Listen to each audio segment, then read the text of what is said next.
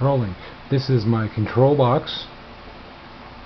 There's the three FETs, and there's the TPU. Let's zoom on this bad boy there.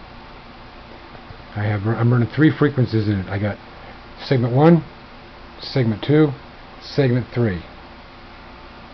I'm driving it right now, and you can see with the three frequencies, every so often, I get a rogue wave coming up. Boom, boom, boom, boom.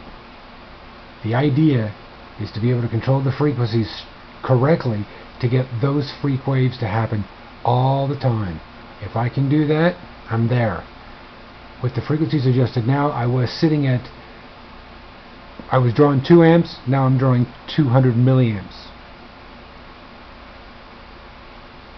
You'll see it come through again.